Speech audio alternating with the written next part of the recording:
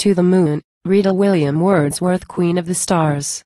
So gentle, so benign, that ancient fable did to thee assign, when darkness creeping o'er thy silver brow warned thee these upper regions to forego, alternate empire in the shades below a bard, who, lately near the widespread sea traversed by gleaming ships, looked up to thee with grateful thoughts, doth now thy rising hail from the close confines of a shadowy vale. Glory of night, conspicuous yet serene, nor less attractive when by glimpses seen through cloudy umbrage, well might that fair face, and all those attributes of modest grace, in days when fancy wrought unchecked by fear, down to the green earth fetch thee from thy sphere, to sit in leafy woods by fountains clear.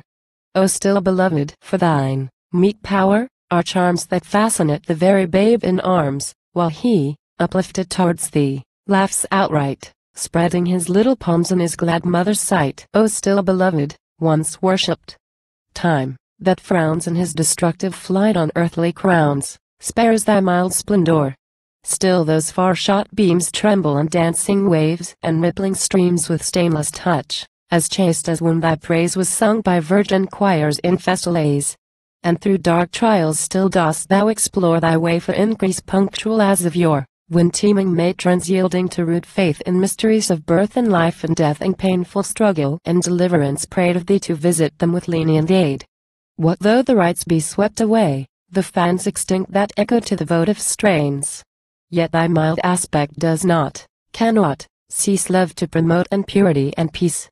And fancy, unreproved, even yet may trace faint types of suffering in thy beamless face. Then silent Monitress, let us not blind to worlds unthought of till the searching mind of science lay them open to mankind told, also, how the voiceless heavens declare God's glory.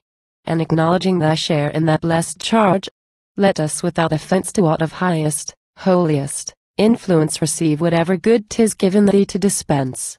May sage and simple, catching with one eye the moral intimations of the sky, learn from thy course, where'er their own be taken, ampersand quo to look on tempests, and be never shaken.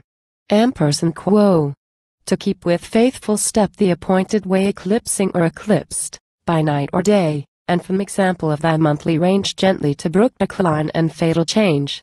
Meek, patient, steadfast, and with loftier scope, than thy revival yields, for gladsome hope.